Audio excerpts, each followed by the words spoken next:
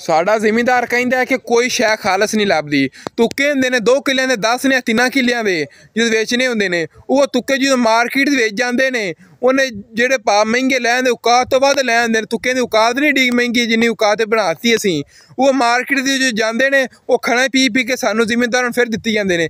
ਅਸੀਂ ਫਿਰ ਕਹਿੰਦੇ ਸਾਡੇ ਡੰਗਰ ਖਲ ਨਹੀਂ ਖਾਂਦੇ। ਖਲ ਕਿਵੇਂ ਖਾਣ ਜੇਕਰ ਤੁਸੀਂ ਦੋ ਨੰਬਰੀ ਕੀਤੀ ਤੇ ਉਹ ਵੀ ਜਿਹੜਾ ਤਾਜਰ ਨੇ, ਜਿੰਨੇ ਮਹਿੰਗੇ ਤੁੱਕੇ ਲੈਣ ਨੇ ਨਾ, ਉਹਨੇ ਤੁਹਾਡੇ ਨਾਲ ਦੋ ਨੰਬਰੀ ਕਰਨੀ ਹੈ। ਫਿਰ ਇਹ ਜਿਹੜੇ ਜਿੰਨੀਆਂ ਮਰਜ਼ੀ ਡੇਰੀ ਫਾਰਮ ਵਾਲੇ ਜਿਹੜੇ ਦੁੱਧ ਵੇਚਦੇ ਨੇ ਜਿਹੜੀ ਮਰਜ਼ੀ ਦੁਕਾਨ ਤੋਂ ਜੋ ਤੁਹਾਨੂੰ ਖਾਲਸ ਦੋ ਦਿਨ ਲੱਭਣਾ।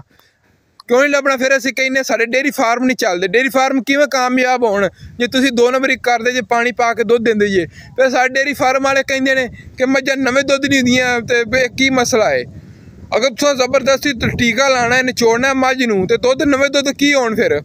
ਜਦੋਂ ਜ਼ਬਰਦਸਤੀ ਕਰਨੀ ਹੈ ਮਾਝੇ ਪੂਰੇ ਹੀਟ 'ਚ ਜ਼ਿਆਦਾ ਤੋਂ ਲੈ ਆਉਣੀ ਮਾਝੇ ਨਿਚੋੜ ਨਿਚੋੜ ਕੇ ਅੰਦਰ ਘੁੰਮੇ, ਪਾਬੰਦੀ ਵੀ ਲਾਈ ਹੈ ਕਿ ਟੀਕਾ ਨਾ ਲਾਓ।